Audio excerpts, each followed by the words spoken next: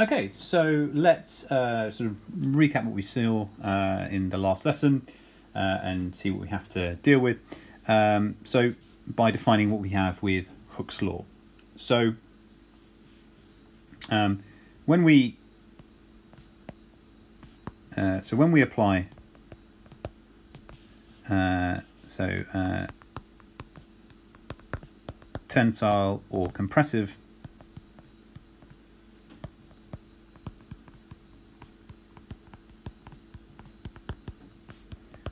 forces to an object, uh, we can alter its shape. Okay, so you either you know compress something, you make it squish it, you make it smaller. Tensile is when you're stretching something, you make it uh, larger. Uh, and what we're saying with that is that um, you know that happens with any material, you know, pretty much as long as you're able to apply the force big enough to sort of like deform it, then you'll deform it. And then actually you can argue you'll deform things even very small amounts. Um, but if you are dealing with a with certain classes of materials, certain class of materials follow Hooke's law. Okay, and that is where the um, the alteration of the shape or the extension is directly proportional to the force you've applied. Um, so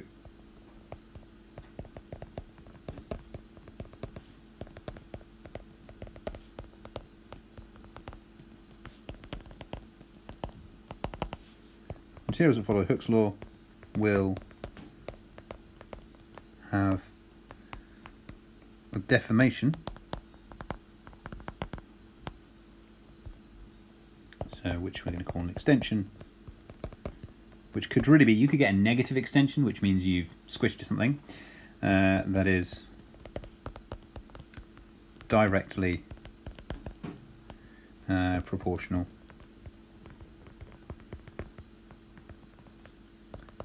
to the applied force. And that is summed up through the relationship that F is directly proportional to the extension,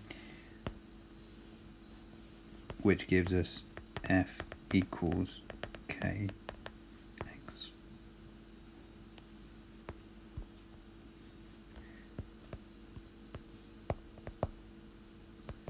force in newtons.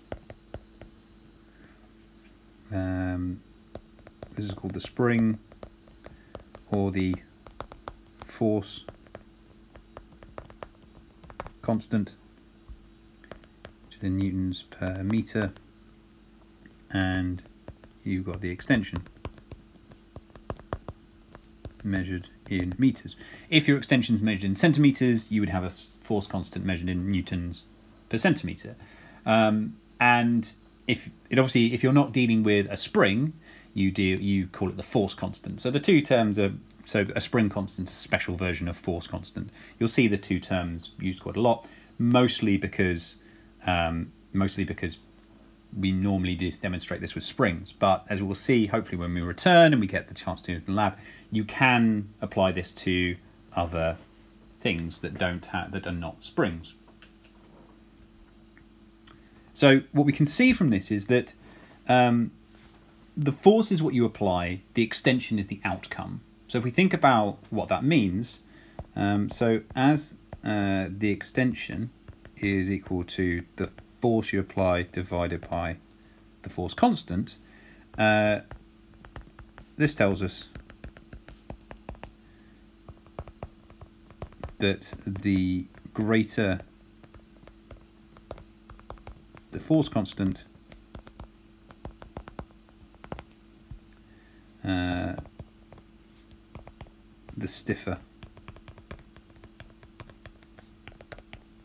the object.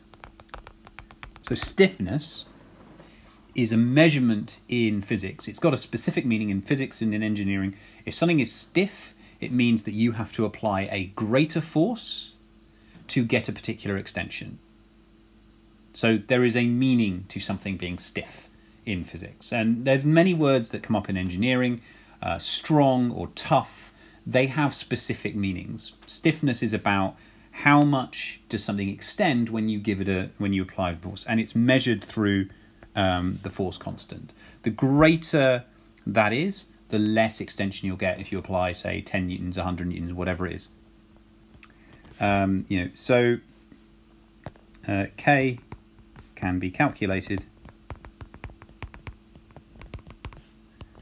from the gradient of a force extension.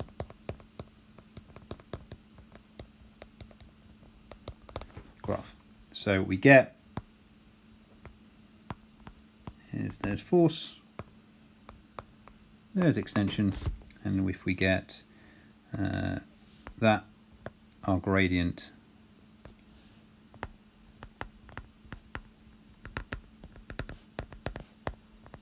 Now, at this point, I'm not worried about going beyond the elastic limit. I'm staying completely in a region of Hooke's law because we've got a linear line. But if we had something where the gradient was like this, this is a uh, stiffer material. So something's been built and designed in a certain way that we apply a certain force, we get less extension out of it.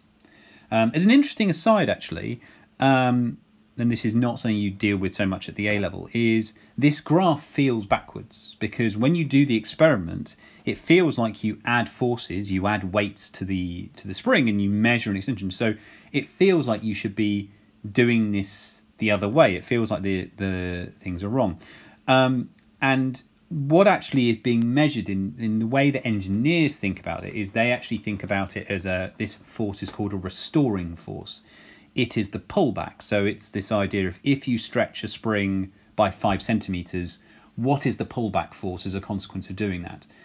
And that's just kind of a, a, a way in which they've been thinking about stuff. So they, um, you might see in some textbooks that actually uh, they write it, and this is not really, you don't really do at A level, but you might see in some places they write it as F is equal to minus kx. And that's because what they're measuring there is the uh, restoring force that's in the spring. So it's a negative because it's trying to pull back. But that's not something you need to know about for the A level. But it is why this graph is backwards seeming. So um, what we can do is we can consider uh, the uh, the concept of springs in um, series and parallel.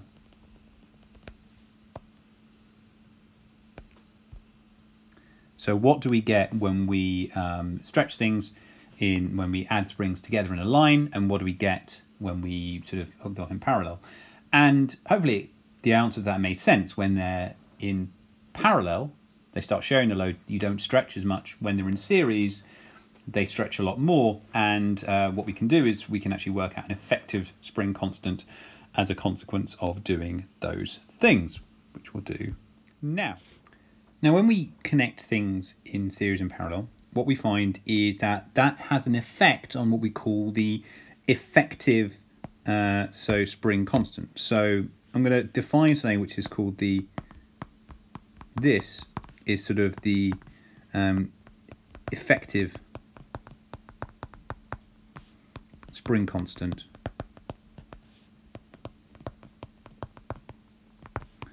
of the system. And um, the sort of the shorthand answer is that you know when you connect uh, springs in parallel. So for springs in parallel,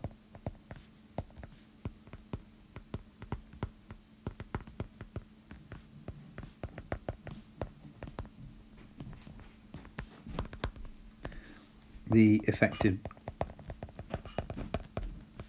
um, stiffness is greater. Okay, and that is made sense from the thing if you think, well, if I go from having a system where I've got my uh, thing there and I've got um, spring one and I've got my second spring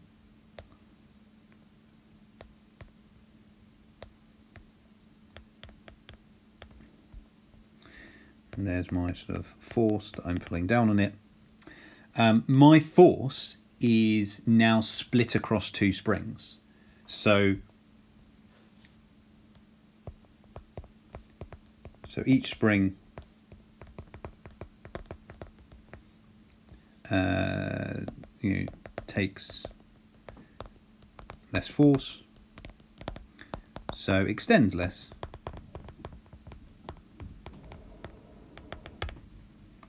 You know, which ultimately is this thing is not going to extend more. And that should make sense.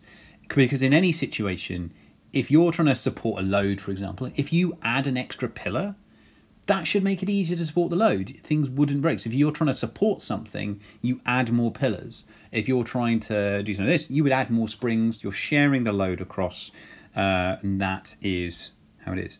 Um, now for for identical springs,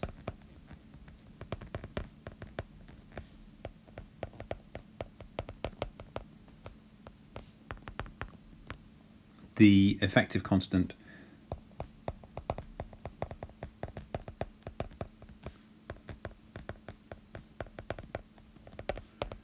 is doubled. So if we have um, these things, say, let's say that has a, a, spring constant of k, and this is also, and they're identicals, they've both got an individual spring constant of k, so, you know, the, the effective system is equal to 2 times the initial thing. And if that was 3 times, that would be tripled. 4 times, quadrupled. The more springs you add, the less the system will extend because you're sharing out that force over more and more things. Now, for a spring series, a spring in series, have I written this? Uh, so.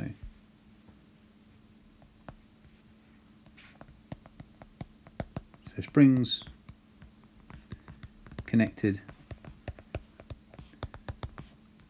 in series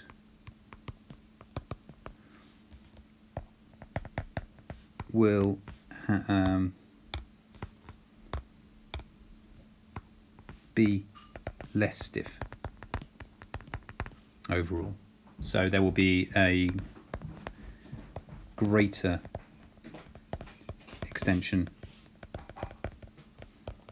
for a given load.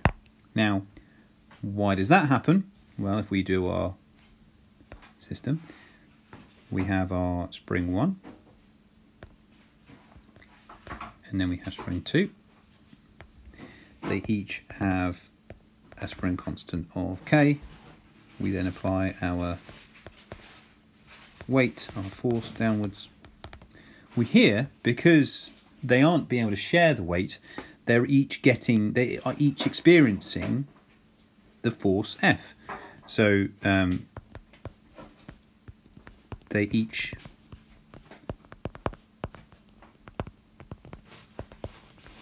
they experience the full force.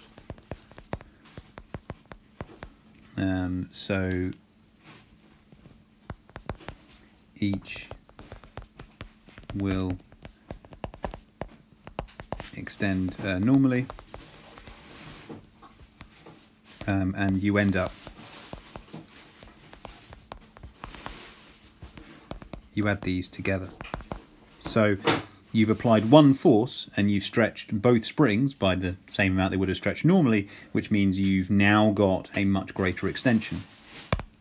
So that gives us an outcome where the uh, for identical springs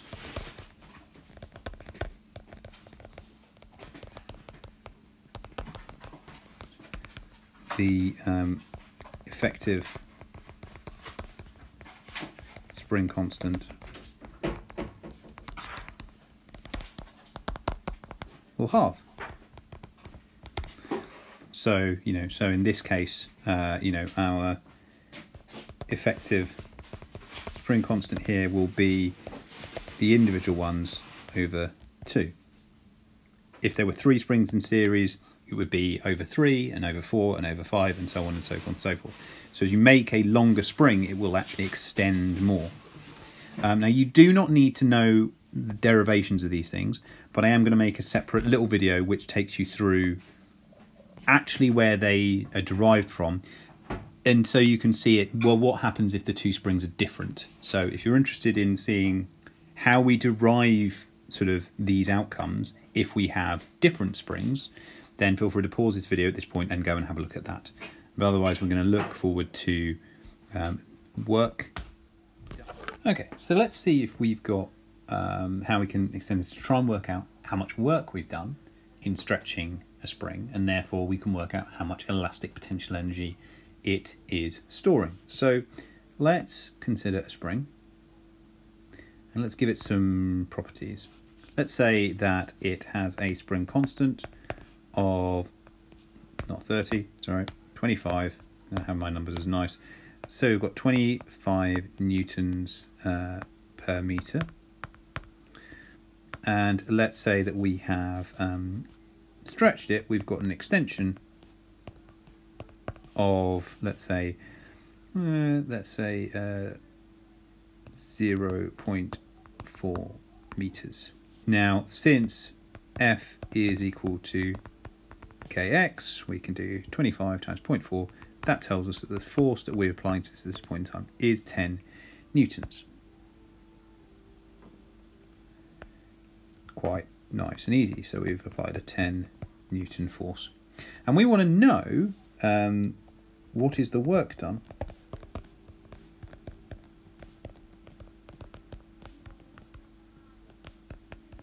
Well, if you think about the equation, um, work is force times distance, you might say, well, okay, I've got a force of 10 newtons, I've got a distance of 0.4 meters, so I would therefore have done 4 joules of work.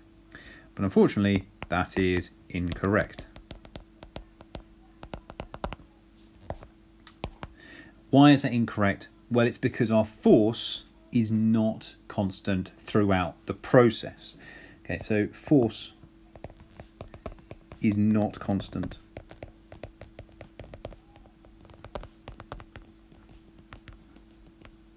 throughout. So let's say, well, what, you know, because you can ask yourself a question saying, okay, um, what would happen if I've only stretched it 0.1 meters? Well, at that point, I've only having to do at that point two and a half newtons of force. I don't have to apply so much force. So as I continue to stretch the spring, I have to apply more and more force to get the next centimeter, get the next meter, or whatever it is that I'm trying to do. So, and that's because we get and we can see that with um, the force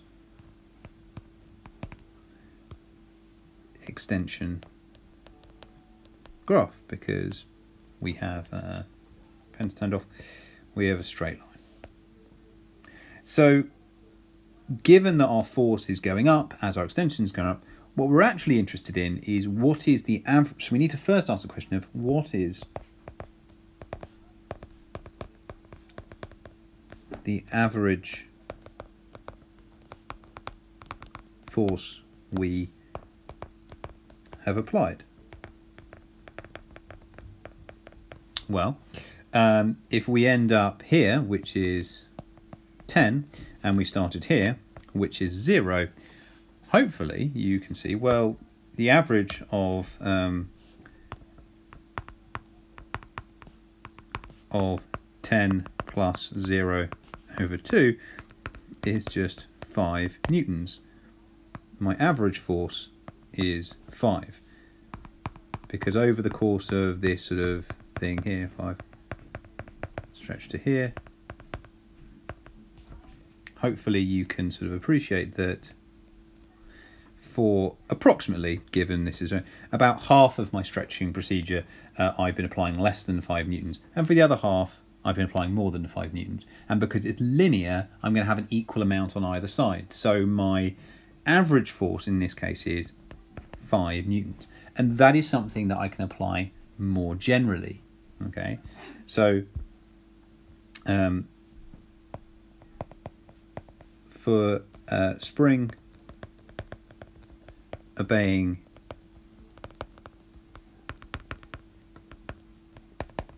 Hooke's law, the average force applied is F over 2. And this means that we can therefore say, so the work done is equal to F average times the distance we go. So we get a half of the final force times the displacement. So the work done is a half Fx. And that work is stored as elastic potential energy. It's stored within the spring. This is the equation for elastic potential energy. A half Fx. Now this is a equation that applies for anything following Hooke's law.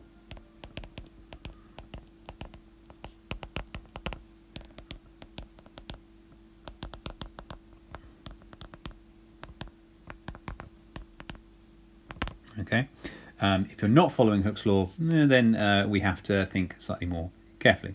Before we um, sort of go into more detail, we can also sort of change this equation slightly. Um, we don't even need to sit there always working out the force each time. Okay, so if you know the force and you know the extension, great. But what if you just know the spring constant and you know how much you want to extend something by and you think, how much energy is that going to take? Um, we can also substitute in. So as F equals Kx, we can substitute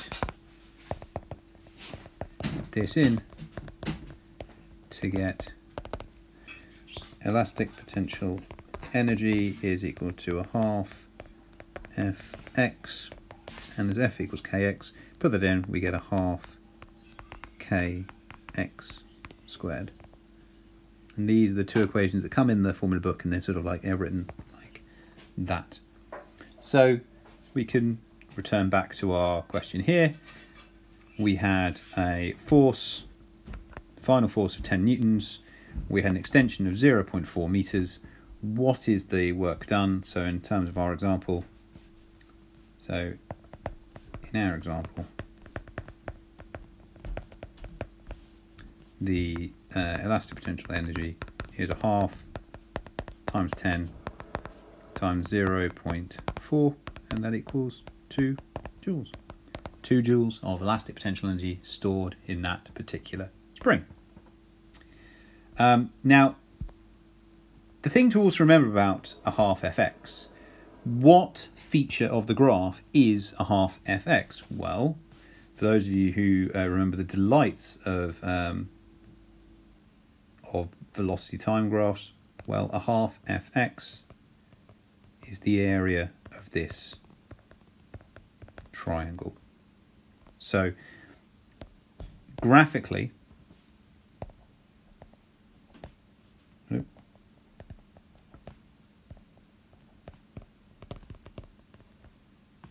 graphically, the energy stored is equal to the area under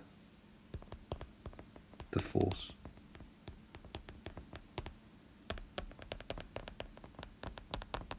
Extension graph. And what is better about the graphical method is that that actually will apply. Um, this applies even if the graph is not linear. So even if the um, thing you're stretching, and we'll look at them with rubber bands and various other things, even if they're not linear, uh, that area under the graph, so even if you have something which behaved a bit like that, if you were able to do the area under the graph and I'm going to make this? Um, actually going to have two. So one for a nice linear one.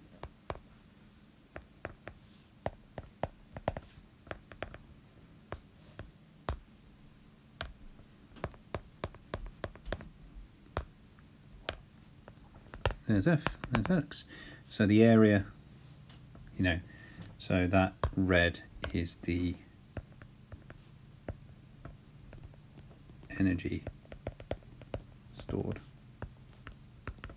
So for uh, material that's not following Hooke's law, if the same logic will apply in the same way that for a uh, a, a velocity time graph with a constant acceleration, you've got a triangle, fantastic. You can do a half uh, times the you know half times the final velocity, you know, uh, times the time.